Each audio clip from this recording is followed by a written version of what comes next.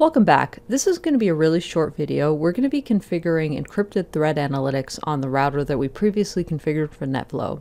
Unlike the actual switch where we had to just do the five tuple record for NetFlow, we don't need to make any changes to the router's uh, configuration for NetFlow. We're just going to be adding a couple different lines of config. Um, with the ISRs and the CSR uh, routers, we are allowed to do encrypted threat analytics if you have the minimum version of code. So it was introduced in 16.6.2, and in my lab you can see here that we're running 16.605. So that shouldn't be a problem to run this.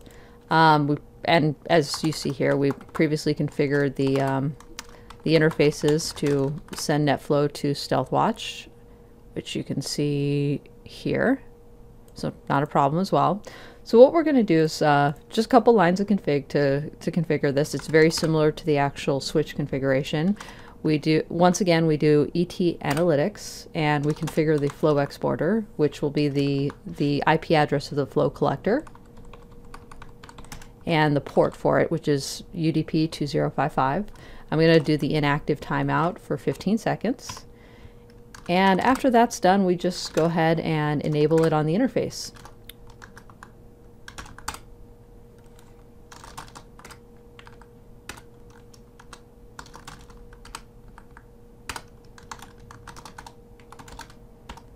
And that's it.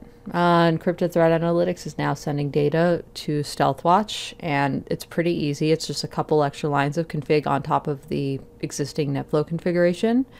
Um, thank you for watching this video, and that's, as I said, it was going to be a quick video.